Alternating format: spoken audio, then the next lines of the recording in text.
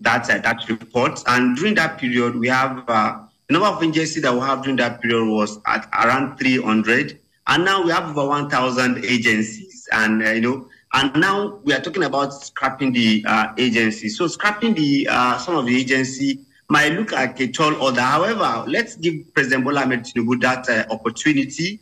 Uh, let's trust him that he's going to do something. But, for me, I, I think it's late now to say we want to go back from 300 to 250. Now we have about 1,000. So are we coming down to 800? Are we merging uh, MDAs? But if you ask me, I think for the challenge that we have now, it's critical we merge agencies together because uh, some agencies have like uh, likely or, or what it look as if they are doing the same thing, double job. I think by so doing that will help. So it's a good one if we merge some agencies. All right. Now, um, he's scrapping, there's a potential uh, scrapping of the Ministry of Humanitarian Affairs. What do you believe are the key factors driving this potential scrap altogether of the ministry? Um, what do you think it could be? Because now, first of all, there was a suspension of the, the minister of that uh, ministry. But what, what are your thoughts on what could possibly be the reason?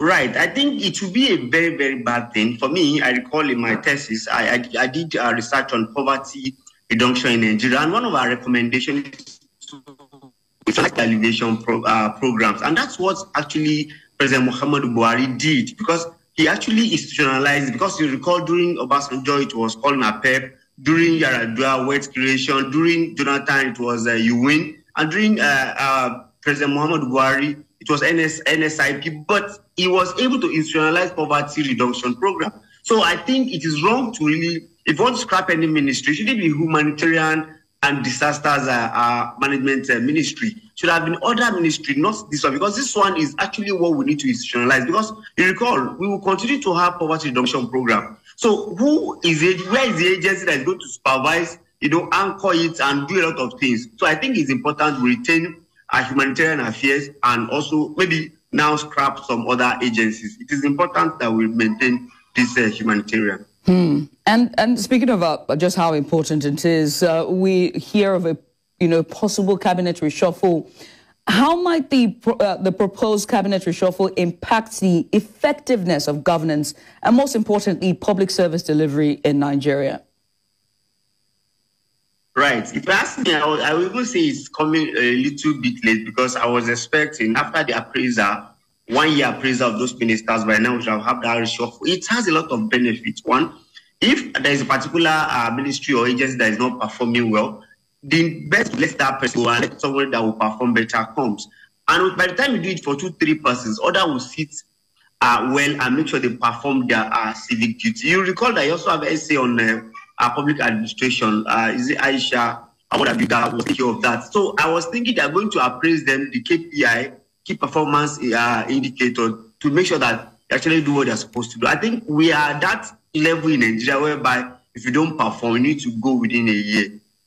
So it's a good one in the right direction. Now, okay, so besides just reshuffling, right, uh, one has to ask the question, is reshuffle then the answer? How can the government best address the concerns of citizens, Nigerians, when it comes to regarding, or rather regarding underperformance, you know, among ministers? Because you might reshuffle, and you might take, for example, minister, uh, minister, uh, the Minister for Women Affairs to say, I don't know, a minister, one other ministry, and then they don't perform or they still give the same performance. I mean, what informs this type of decision, and what's the best way to address it?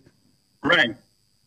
Well, in as we believe the technocrats are those directors that work in that agencies. But the thing is, the leadership is very, very key. I can mention some ministry for you that you hear them, they are doing something because of the person there. It's not about being but that person studying what is evil manning. No, it's about that person having have a, a spirit and be able to and I mean, governance and Ghana our interest to make sure we achieve our aim. So I think if anyone is not living, I mean, pro- uh, providing services as expected, it's enough to let that person go. So I think it will actually bring us more plans. And ask if it will affect the citizenry. You know, policy direction is very, very key in the life of Nigerian citizens. So if you have the right policy direction, I think we'll have a better way to go. So I think it's a good one. It's a welcome idea unlike President Bola, I mean Muhammadu Buhari, good eight years never have a major reshuffle, never bring anybody out, change anybody because of low performance. And you see, the, most of them, the performance was abysmal, and there's nothing we can do. So I think if he can do it early now, it will help him to really,